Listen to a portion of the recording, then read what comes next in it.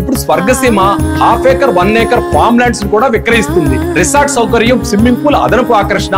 ఒక్కసారి విజిట్ చేయండి. Swargaseema sandalwood farms private limited. కానీ నమ్మ తొందర పాపం వల్ల. ఓకేనా? మాజీ ముఖ్యమంత్రి వర్యులు నారా చంద్రబాబు నాయుడు గారి మీద inner ring road case crime number sixteen of twenty twenty two.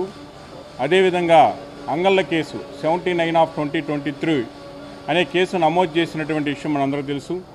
గత మూడు రోజుల క్రితం సోమవారము ఈ కేసులన్నీ కూడా రెగ్యులర్ బెయిల్ ఇవ్వమన్నప్పుడు రెగ్యులర్ బెయిల్ కాదు యాంటిసిపేటరీ బెయిల్ వేయాల్సిన మెయింటైనబుల్ అని చెప్పేసి కోర్టు సోమవారం కేసుని తిక్క తిరస్కరించిన సందర్భంలో మరి యాంటిసిపేటరీ బెయిల్ నిన్న కేసులు దాఖలు చేయడం జరిగింది. ఈరోజు అవన్నీ విచారణ రావడం జరిగింది. విచారణ సందర్భంగా మరి ఏదైతే అంగళ్ళ కేసు ఉందో అంగళ్ళ కేసుకు సంబంధించి ప్రభుత్వం వారిని ఇన్స్ట్రక్షన్స్ చేసరమంగా పబ్లిక్ ప్రాసిక్యూటర్ గారు అంగళ్ళ కేసుకు సంబంధించి మేము ఎలాంటి అరెస్ట్ చేయాలనే ఉద్దేశం కానీ మాకు లేదని చెప్పేసి రేపటి వరకు కేసు వాయిదా ఏమని చెప్పేసి కోరటం జరిగింది. దానికి సంబంధించి మరి రేపు కేసు విచారణ చేపడటానికి అప్పటి వరకు ఎలాంటి అరెస్ట్ చర్యలు చేపట్టమని ఏదైతే అండర్టేకింగ్ ఇచ్చారో దాన్ని దృష్టి పెట్టుకొని ఆదేశాలు ఇవ్వడం జరిగింది. అదేవిధంగా ఇన్నర్ రింగ్ రోడ్డు కేసు ప్రత్యేకించి మనందరూ తెలిసిన విషయమే. ఏదైతే ఇన్నర్ రింగ్ రోడ్డు కేసు సంబంధించి కింద మరి ఏదైతే ఈ కింద కోర్టులో ఏదైతే సిక్స్టీన్ ఆఫ్ ట్వంటీ ట్వంటీ టూలో మరి స్పెషల్ కోర్టు సి ఏసీబీ కోర్టులో పీటీ వారెంట్స్ వేయటమే కాకుండా బాబు గారిని పోలీస్ పోలీస్ కస్టడీకి కూడా ఏమని చెప్పేసి ఒక క్రిమినల్ ఎంపీ పిటిషన్ ఫైల్ చేయడం జరిగింది. అది పదకొండవ తారీఖు ఫైల్ చేస్తే మళ్ళీ పద్నాలుగో తారీఖు రిటర్న్ అయితే దాన్ని మళ్ళీ పదిహేనవ తారీఖు ఫైల్ చేస్తే అది పెండింగ్ ఉండగా ఇంతవరకు దాని మీద ఎలాంటి ఆదేశాలు ఇవ్వడం కూడా జరగలేదు.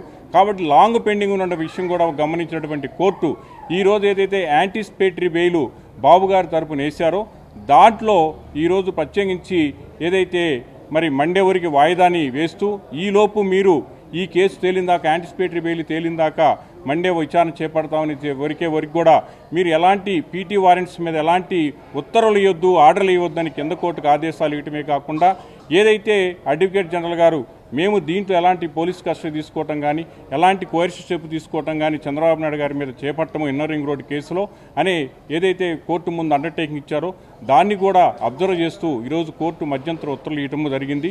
ఈ కేసును రేపు రాబోయే మండేకి విచారణ చేపట్టడం జరుగుతుంది. అప్పటి వరకు కింద కోర్టుని ఎలాంటి ఈ ఉత్తర్వులు ఇవ్వద్దు ఏదైతే పీటీ వారెంట్ మీద కానీ పోలీస్ కస్టడీ మీద అని చెప్పేసి కూడా స్పష్టమైన ఆదేశాలు ఇవ్వడం జరిగింది. దీన్ని బట్టి మరి చంద్రబాబు నాయుడు గారి మీద అరెస్ట్ అనేది ఈ కేసు ఫోర్ థర్టీ ఎయిట్ ఏదైతే యాంటిసిపేటరీ బిల్ వేశారో ఆ తేలే వరకు చంద్రబాబు నాయుడు గారి మీద ఎలాంటి కోర్సు స్టెప్స్ కానీ ఎలాంటి అడ్వర్స్ స్టెప్స్ కానీ జరగమని చెప్పేసి ఉత్పన్నం కావాలని చెప్పేసి కోర్టు ఆదేశాల ద్వారా మనం అని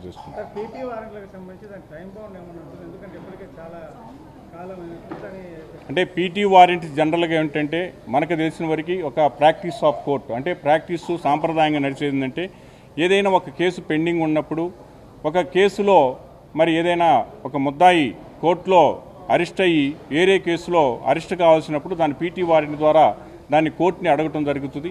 ఆ సందర్భంలో జనరల్గా అదే రోజు లేకపోతే వన్ వీక్ లోపు దాని మీద ఒక నిర్ణయానికి వచ్చేసి దాని మీద తీర్పు ఇవ్వడం జరిగింది కానీ ఈ కేసుకు సంబంధించి మరి ఏదైతే sixteen of twenty twenty two అంటే ఇన్నర్ రింగ్ రోడ్డు కేసుకు సంబంధించి మరి పదిహేనవ తారీఖు పదిహేను తొమ్మిది ఇరవై ఇరవై మూడున కేసు అది పీటీ వారెంట్ ఎగ్జిక్యూట్ చేయాలని చెప్పేసి పోలీస్ కస్టడీ కూడా దాంట్లో కొరటం కూడా జరిగింది బాబు గారిని.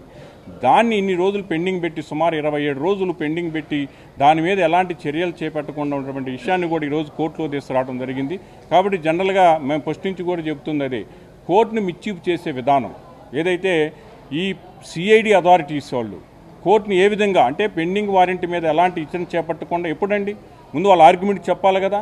ఇంతవరకు ఎందుకు ఆర్గ్యుమెంట్ చెప్పలేదు? గవర్నమెంట్ సిఐడి నుంచి అనే ప్రశ్న కూడా ఉత్పన్నమవుతుంది అట్లాగే ఎందుకు ఆ క్వశ్చన్ ప్రధానంగా వస్తుందంటే దీంట్లో రైట్ ఆఫ్ ఆడియన్స్ ఎవరైతే చంద్రబాబు నాయుడు గారి తరఫున పీటీ వారెంట్ సంబంధించి వాదనలు వినిపించడానికి అంటే పీటీ వారెంట్ మెయింటైనబుల్లా మెయింటైనబుల్ కవునా అనే వారి వాదనలు వినిపించడానికి కూడా అవకాశం లేని దాంట్లో యూనిలేటర్లుగా ఇట్లా పెండింగ్ పెడతామేందని అంశం కూడా కోర్టు దృష్టికి తీసుకురావటం అయింది దానివల్ల ఏంటంటే రేపొద్దున మేము ఫోర్ థర్టీ ఎయిట్ పిటిషన్ వేసుకోవడానికి కానీ అదర్ రెమెడీస్ పొందడానికి కానీ మరి ఫండమెంటల్ రైట్స్కి వాయిలేటమే కాకుండా కాన్స్టిట్యూషనల్ రైట్స్గా లీగల్ రైట్స్గా కానీ ఇవన్నీ కూడా ఇబ్బంది కలిగించే పరిస్థితులు కోర్టు ప్రొసీడింగ్స్ కూడా సరైన పద్ధతిలో ఫంక్షన్ చేయకుండా నివాంతరం చేసి ఆయుధాలు కోరే పద్ధతి ఏదైతే సిఐడి టాక్టిక్స్గా చేస్తుందో దాన్ని కూడా కోర్టు దృష్టికి తీసుకురావడం జరిగింది. ఈ విధంగా జరగటం వల్ల ఈ రోజు కోర్టు అన్ని గమనించి ఈ రోజు మధ్యంతర ఉత్తర్వులు చేయడం జరిగింది.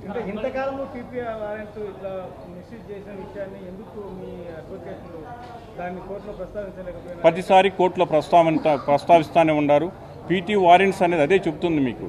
పీటీ వారెంట్స్ మేము ప్రస్తావించాలంటే రైట్ ఆఫ్ ఆడియన్స్ మాకు ఉండాలి. మాకు ఒక నోటీస్ ఉండాలి. అది కోర్టు వర్సెస్ పబ్లిక్ సర్వెంట్ అని పబ్లిక్ ప్రాసిక్యూటర్ అనే విషయం ఏదైతే ఉందో వాళ్ళ మధ్య నడుస్తుంది కనుక మమ్మల్ని ఇబ్బంది పెట్టే టైంలో మేము యాంటిసిపేటరీ బెయిల్ వేసేటప్పుడు ఇబ్బంది పెట్టే టైంలో అది అడ్డం పెట్టినప్పుడు డెఫినెట్గా దాన్ని పాయింట్అవుట్ చేశాం.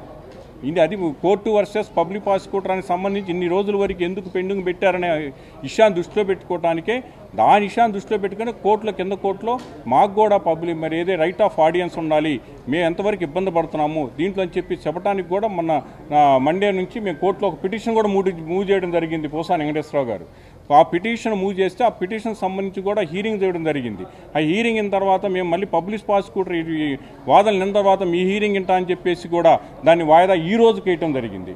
ఈ రోజు వేయటం కూడా జరిగి ఈ రోజు కూడా హీరింగ్ నిన్న నిన్న కూడా దాన్ని మళ్ళీ ప్రొసీవ్ చేయాలి నిన్న లీవ్ పెట్టేసి సరే అది కోర్టు లీవ్లో ఉంది కనుక దాన్ని మనం ఏమన్నా ఈ రోజు కూడా దానికి సంబంధించి ఎలాంటి ప్రొసీడింగ్స్ కాలేదు కనుక దానివల్ల ఇబ్బంది పడుతుంది ఎవరు? చంద్రబాబు నాయుడు గారికి ఉన్న రైట్స్ మొత్తం కూడా మరి దానికి విఘాతం కలిగించే విధంగానే భావించాల్సి వచ్చింది కనుక దానికి సంబంధించి ఈరోజు హైకోర్టులో ప్రధానంగా ఇన్ని రోజులు పీటీ వారిని పెండింగ్ పెట్టి అట్లాగే పోలీస్ కస్టడీ కోరతం అనేది పిటిషన్ కూడా పెండింగ్ పెట్టి విధానం ఏదైతే ఉందో దాన్ని కూడా మేము చాలా ఇనార్డేట్ డిలే అయింది అని చెప్పేసి దానితో పాటు మేము వేసేటువంటి యాంటిసిపేటరీ బెయిల్ దీనికి ఎట్లాంటి అడ్డంకులు కూడా కాదు. కాబట్టి ఒకవేళ ఈరోజు మేము యాంటిసిపేటరీ బెయిల్ వేసేసి ఈ రోజు కనుక మధ్యంతర ఉత్తర్వులు ఇగిపోతే రేపు గనక పీటీ వారెంట్స్ మీద ఆర్డర్స్ ఇస్తే పోలీస్ కస్టడీకి ఇస్తే మా యొక్క యాంటిసిపేటరీ బెయిల్ ఇన్ఫెక్షస్ అయిందనే భావన కూడా కోర్టు ముందుకు తీసుకొచ్చినప్పుడు ఇవన్నీ గమనించి మరి కింద కోర్టు ఎలాంటి చర్యలు చేపట్టొద్దని చెప్పేసి ప్రత్యేక ఆదేశాలు ఇచ్చి రేపు మండే యాంటిసిపేటరీ బెయిల్ ఇంటానికి మరి వాయిదా వేయడం జరిగింది.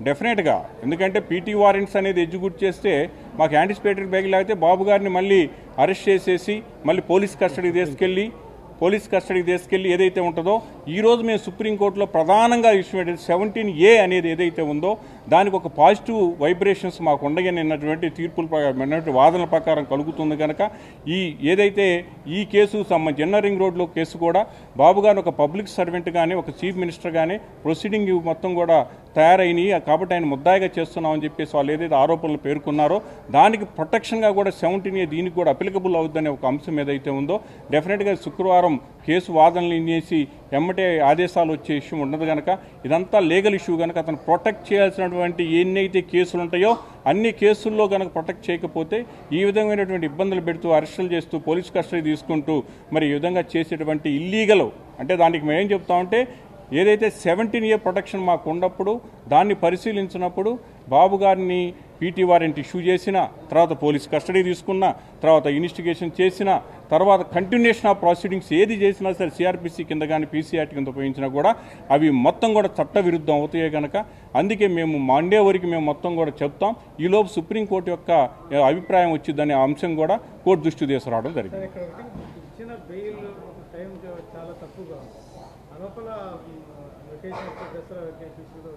అది ఇప్పుడు ప్రస్తావన కదా తర్వాత ఇప్పుడు మండే కేసు వింటానన్నారు కదా. కేసే తెలుస్తానన్నారు కదా. రేపేమో అంగళ కేసు వింటానన్నారు కదా. అంగళ కేసులో మనం అన్ని కూడా గమనించున్నాం అంగళ కేసులో అందరికి బెయిల్ ఇచ్చారు. వస్తే ఫార్మల్ హీరింగ్ అయితే జనరల్గా ఇక్కడికి ఇచ్చినటువంటి కొంతమంది ముద్దాయిలందరికీ కూడా బెయిల్ ఇస్తే యాంటిసిపేటరీ బిల్ ఇస్తే దాన్ని సుప్రీంకోర్టుకి సిఐడి వాళ్ళు అప్పీల్ చేస్తే దాన్ని కూడా సుప్రీంకోర్టు మన హైకోర్టు ఇచ్చినటువంటి ఆర్డర్ని కన్ఫర్మ్ చేస్తూ మరి ప్రభుత్వం యొక్క వాదనని కొట్టేయడం జరిగింది. కనుక రేపు వచ్చేటటువంటి అంగళ్ళ కేసులో జనరల్గా బాబు గారికి ఎక్కువగా బెయిల్ వచ్చేటువంటి అవకాశాలు అయితే మెండుగా ఉన్నాయి.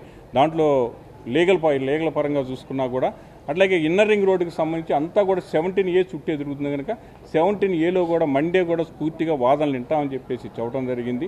కాబట్టి ఈలోపు ఎవల్యూషన్ ఆఫ్లా కానీ సుప్రీంకోర్టు వచ్చే తీర్పులను ఆధారం చేసుకొని రేపు వద్దున four four thirty eight A anticipatory bail కింద ఇన్నర్ రింగ్ రోడ్డు కేసులో ఈ వాదనలు వినటానికి అవకాశం కల్పించారు.